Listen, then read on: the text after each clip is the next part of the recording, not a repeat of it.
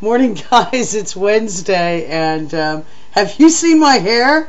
Oh my God, this is a major bad hair day. The whole Annie Oakley thing happening. That's why I'm laughing so much because of my ridiculous image on this video cam. God Almighty.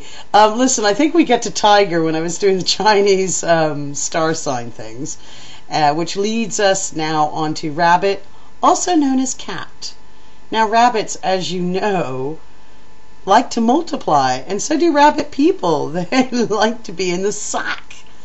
They tend to burrow their heads in their warrens and not deal with problems well. They'd rather whinge about it than do anything about it. But they're very peace loving, philosophical, laid back people. They tend to have really good taste, too. Um, they tend to look at both sides of the coin. Um, but it's almost like uh, the thing I find with rats that's often the case, not rats, rabbits or cats that's often the case, is that it's always um, a matter of the glass being half empty. And I don't understand that. But um, to all you rabbits and cats out there, it's a half full day. you can't it can't get any worse than this. Uh, you know, and the the wrinkles and oh god, don't even go there. All right, you guys, have a good one. I'll be in touch tomorrow. Hopefully.